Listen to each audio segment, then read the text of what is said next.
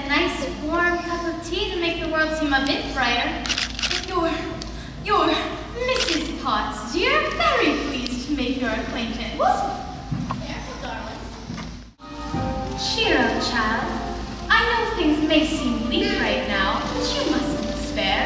We're here to see you through. I hope that we'll be friends, though I don't know you well.